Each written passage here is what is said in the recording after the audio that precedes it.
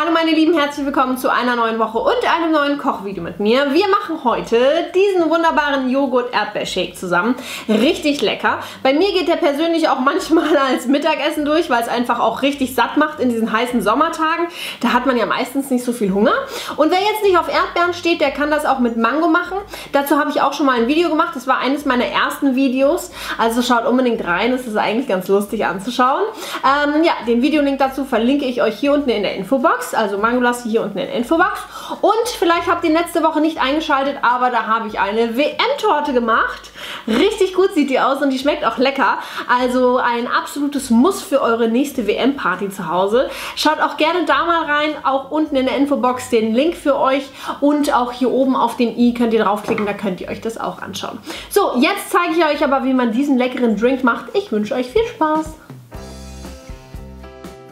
Für den Erdbeer-Joghurt-Shake brauchen wir 500 Gramm Naturjoghurt, dann 300 Gramm Erdbeeren gefroren oder frische, eine Limette, 1 bis 2 Esslöffel Honig und Minze für die Deko. Als erstes gebt ihr den Naturjoghurt einfach in eine große Schüssel, am besten sollte er kalt sein. Anschließend könnt ihr die Limette reinpressen. Die erste Hälfte habe ich jetzt ohne Hilfsmittelchen gemacht, die zweite, dafür nehme ich mir eine Gabel. Funktioniert super, einfach reinstechen und rum pressen und das funktioniert wirklich, wirklich super, also unbedingt ausprobieren.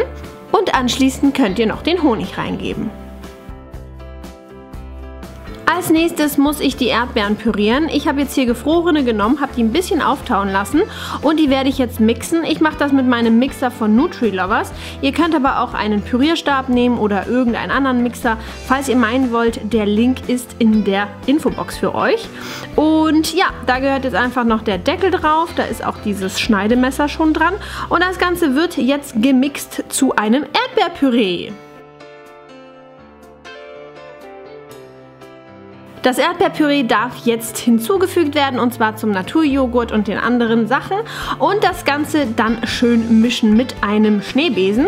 Schön umrühren. Ich finde ja die Farbe immer so toll und äh, ja, sobald ihr damit fertig seid, ist das eigentlich schon, ja, eigentlich fertig. Das Ganze könnt ihr jetzt in so eine Flasche füllen, denn ähm, ja, ich will nur ein Glas haben und es bleibt sehr viel übrig, kann ich morgen noch trinken und ihr könnt es dann abgefüllt in den Kühlschrank geben. Und als Deko nehme ich mir jetzt noch einen Holzstick und kleine Erdbeeren. Die spieße ich einfach auf meinen Holzstick drauf und ja, gibt eine super hübsche Deko. Müsst ihr natürlich nicht machen, aber ich hatte noch ein paar frische Erdbeeren da, deswegen diese Deko.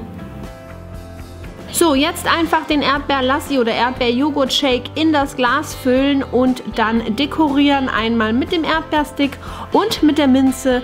Und ja, fertig ist der Erdbeer-Joghurt-Shake oder der Erdbeer-Lassi. So, so lecker. Guten Appetit!